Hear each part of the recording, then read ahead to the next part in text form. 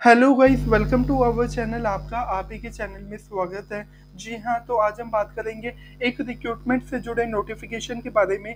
जैसा आपके सामने है, एम्स द्वारा भर्ती का नोटिफिकेशन जारी किया गया है। प्रदेश में सीनियर रेजिडेंट के लिए नंबर ऑफ़ पोस्ट है एक सौ अठारह वन वन एट आवेदन स्टार्ट है सात अगस्त से।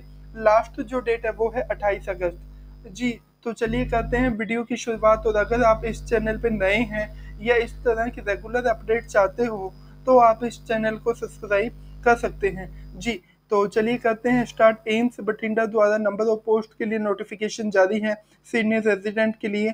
आप इनके ऑफिशियल वेबसाइट पर जाके चेकआउट कर सकते हैं। और इनका जो अपॉइंटमेंट पीरियड है, वो वन ईयर का है, जिसे एक्सटेंड किया जा सकता है तीन साल के लिए।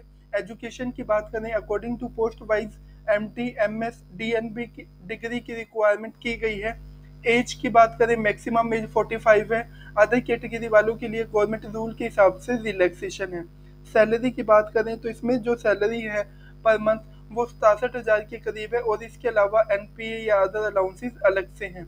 सिलेक्शन जो होगा, वो रिटर्न एग्ज़ाम और इंटरव्यू के आधार पर किया जाएगा। जी तो ये नोटिफिकेशन है स्टार्टिंग और क्लोजिंग डेट दी गई है। एप्लीकेशन फॉर्म का लिंक दिया गया है। गूगल फॉर्म लिंक जी हाँ और उसके बाद यहाँ department wise number of post को यहाँ पे डिवाइड किया गया है।